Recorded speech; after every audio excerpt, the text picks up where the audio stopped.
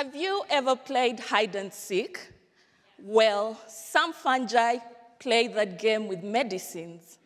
Doctors give medicines to stop fungal infections, but a few sneaky survivors hide. They continue to grow and they're not cleared.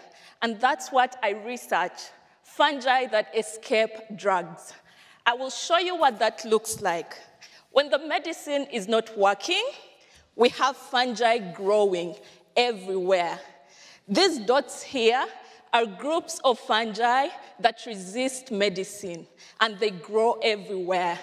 When the medicine works, it stops the fungi from growing.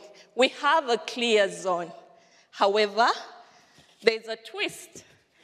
Even in the clear zones, we see fungi that continue to grow within the clear spaces when we think the medicine is working.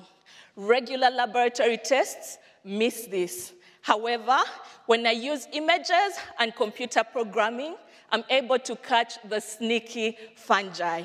My research helps scientists to spot these sneaky fungi so they're able to develop better medicines to stop them from growing. And why is this important?